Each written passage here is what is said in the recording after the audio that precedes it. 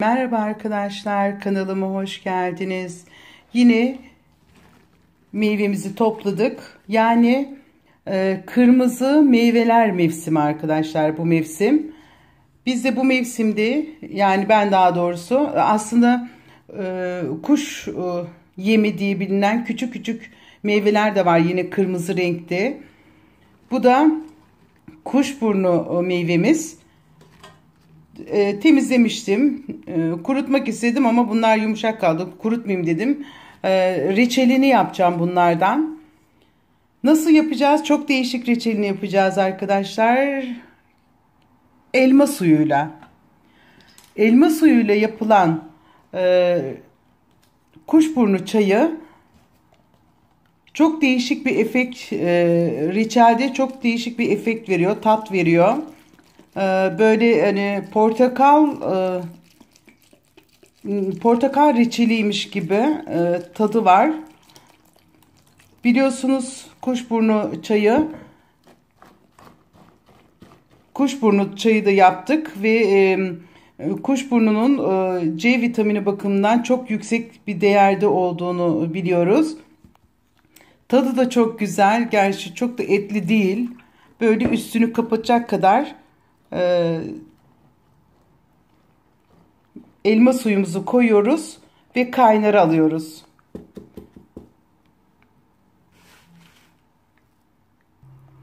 Şimdi arkadaşlar e, meyve suyunu koyduk. Olur ya daha çok etli olabilir kuş e, kuşburnu meyvemiz. E, elma suyunu biraz daha ekleyebiliriz. Tabii ki ne zaman ezdikten sonra ezdikten sonra çok koyu koyuluğunu an, anlayacağız arkadaşlar. Ne kadar koyu olduğunu. Ona göre meyve suyunu, elma suyumuzu tek e, yükleyeceğiz tekrar. Şimdi kaynar aldım. Yavaş yavaş e, kaynayacak, yumuşayacak. Sonra parçalayacağız. Daha sonra e, süzeceğiz. Tülbentten geçireceğiz. Ve reçelimizi yapmış olacağız.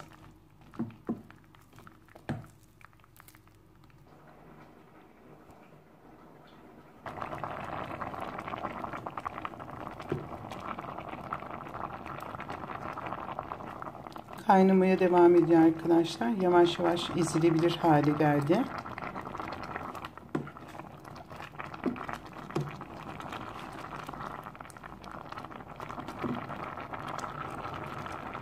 Ve ezmeye çalışacağım.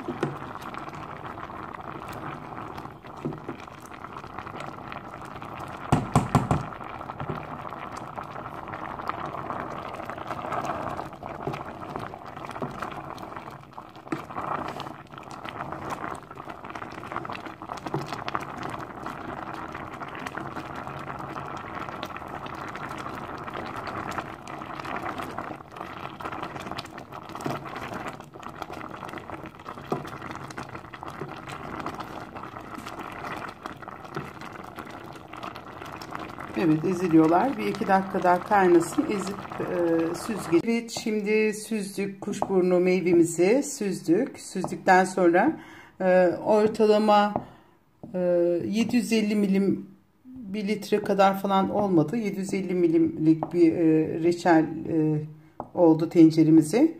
E, onun için ben de e, yarım fincan şeker koydum. Şimdi kaynatıp koyulaşmasını bekleyeceğiz. Bu akıcılığı biraz gidermeye çalışacağız.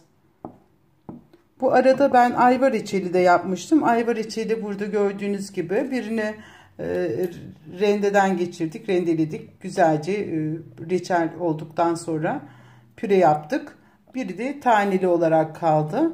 Bu kırmızı rengi almasının sebebi ayva reçelinde ayva çeki, ayvanın kendi öz çekirdeklerini kullanıyorsunuz arkadaşlar.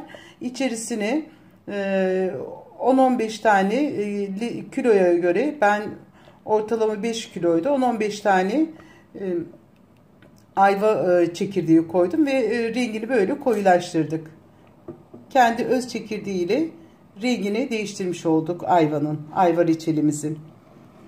Burada gördüğünüz gibi reçelimizi kuşburnu meyvesi reçelimizi yapmaya çalışıyoruz. Süzdükten sonra şekerimi koydum. Yarım fincan ortalama bir litre kadarlık bir e, reçelim var şu anda. değil aslında 750 milimlik falan diyebiliriz. Ve böyle hafif kaynatarak, hafif ateşte kaynatarak buharla birlikte su sıvılığının uçmasını, biraz katılaşmasını bekleyeceğiz.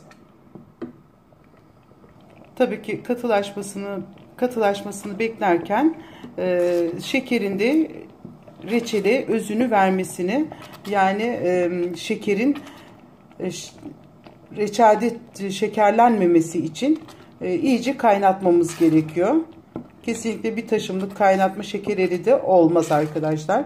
Şeker koyduğunuz zaman e, iyice kaynatmanız gerekiyor. Özleşmesini sağlamanız gerekiyor ki reçeliniz daha sonra şekerlenmesin. Reçelimiz hemen hemen olmak üzere arkadaşlar. Bakınız.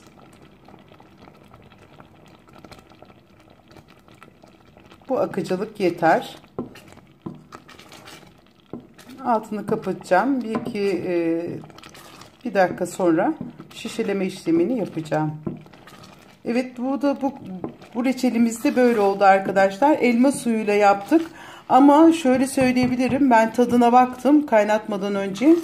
Ee, çok güzel. Ee, gerçekten diğer yaptığım e, kuşburnu e, meyvesinin reçelinden daha lezzetli oldu. Size de tavsiye ederim böyle yapmayı.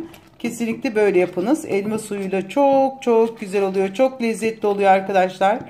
Rengi de çok koyu oldu. Gösterebiliyorum. Görebiliyor musunuz acaba? Bakınız e, rengi de çok güzel kırmızı. İşte bu mevsimler kırmızı meyve mevsimleri, mevsimi diye geçiyor arkadaşlar. Bu mevsimi öyle deniyor. Doğadan e, kırmızı bulduğunuz bütün meyveleri, tanıdığınız bütün meyveleri toplayıp böyle işlem yapabilirsiniz. Reçel yapabilirsiniz. Özellikle şu sıralar kuşburnu meyvesi toplayabilirsiniz. Her yerde mevcut. Bedava arkadaşlar. Evet böyle böyle yapmanızı tavsiye ederim. Çok teşekkür ederim izlediğiniz için. Kendinize iyi bakınız. Hoşçakalınız.